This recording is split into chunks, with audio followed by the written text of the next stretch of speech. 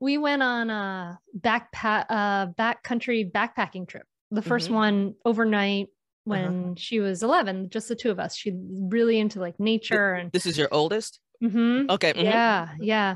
And I was like psyched about that. You know, it was great. We had, you know, it was hard, but we had a Mhm. great time.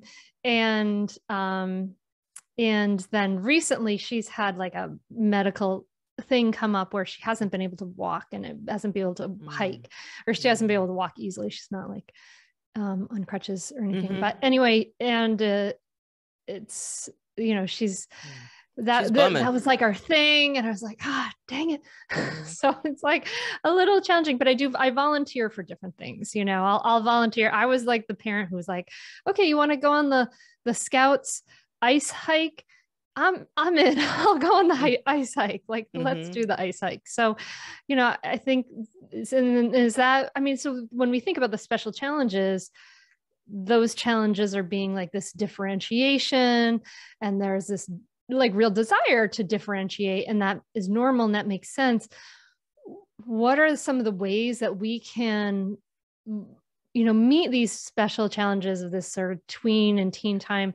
Yeah. maybe um skillfully and in a way that that preserves that connection or and even what are some things we can do when they're younger like i'd, I'd love to know kind of both those are two questions i realized but um, I'll deal with the older one first. Okay. Uh, she's at, you said she's 14.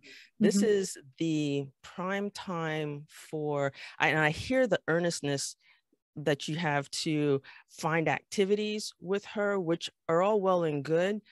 But I I encourage you to also consider that it's even more important to have two ears and one mouth which is really doing double time on the listening.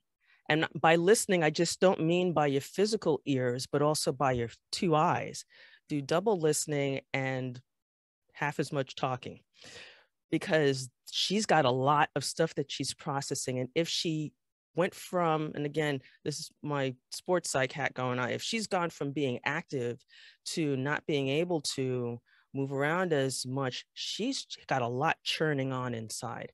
Uh, between that loss and, you know, all the stuff that she may not be able to participate in, this is a perfect time for y'all to be just you seeing her, acknowledging that she is in a different state, uh, uh, hearing her, hearing her heart in terms of what emotions are going on inside of her about this change of state and then understanding communicating your understanding. And that just means something as simple as i i hear you hon because that can be tough.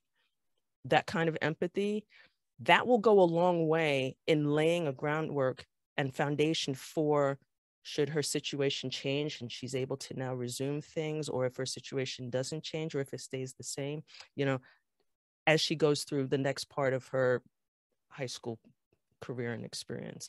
Um, for the younger ones, uh, really it's about, I mean, remembering remembering that your mom again if you're if you're talking about someone who's younger than the tween years okay i feel a lot of times and i've noticed with you know the clients who come to me th- it's almost like they've abdicated their power Mm. as moms. It's like, uh, no, as a mom, you can set ground rules. Yes, as a mom, you can um, express a preference for how you'd like things done.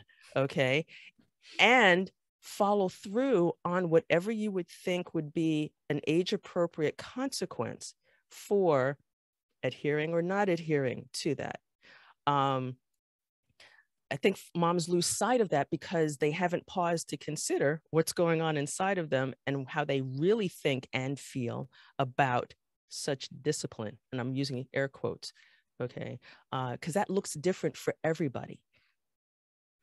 Yeah, yeah, I agree. I mean, we in, in mindful parenting, you know, we get um, people sometimes who, you know, it's it it's sort of agnostic as to like exactly where you want to have those boundaries, but we have a lot of people who are afraid to make boundaries sometimes. Mhm, mhm. And the truth is your needs matter you know and yes.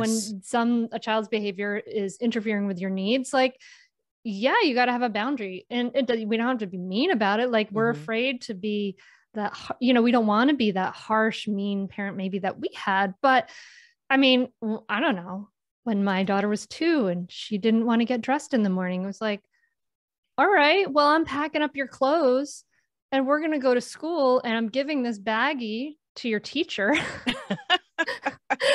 and yes, yes, Sora didn't really didn't want to get dressed this morning. So here you go. It looks like she has to get dressed to school today. And that was pretty darn embarrassing, I think, for her, even at a young age. And so she, she, that was it for that. You know, I mean, like we can have those boundaries as far as like our expectations. Mm-hmm. Absolutely. Mm-hmm. I agree. And mm-hmm. that makes p- kids feel cared for, right? To have yes. some yes. boundaries matters. Yes, they need that. That I mean, the psych research backs that up um ad nauseum uh, for lack of a better word. I mean it it just shows that you have to have some kind of structure uh, because that adds to their sense of safety. And when they have that safe sense of safety and you're consistent with it as best you can be then they get a sense of security which then gives them the foundation for okay i know you fed me so i'm satiated.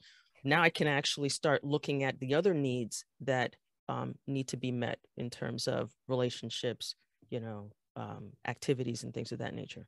Creativity, autonom- autonomy, yes. all mm-hmm. those different right, things. All those yeah, things. yeah, yeah, mm-hmm. yeah, yeah.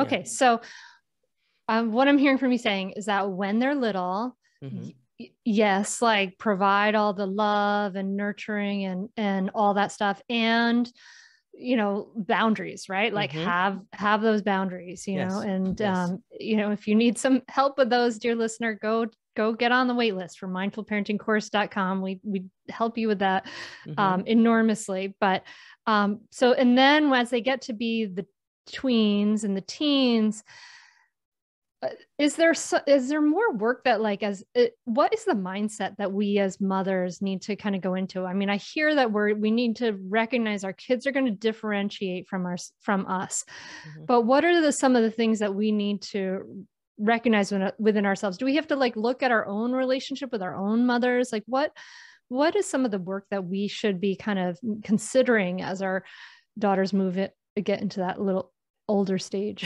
Actually, that's why one of the reasons why I wrote my book, What Mothers Never Tell Their Daughters, it was for that very reason to actually give moms tools in a very conversational tone of the book uh, around figuring out how they're thinking and feeling and behaving in response to, or sorry, in reaction to things that are going on during that transition period. Because mm-hmm. um, and parents and men and women do this where they can sometimes think that the the way in which they parented and i'm using air quotes when they were younger works the same. And and it's really about giving your kids and your daughters in particular the the foundation of their sense of self so that they can then make decisions about what or learn about what they're good at, um, what they want to pursue, what who they want to be later on where you're not going to react but mostly respond. Catch new episodes of the Mindful Mama podcast and other free resources including the Mindful Mom Guide at mindfulmamamentor.com.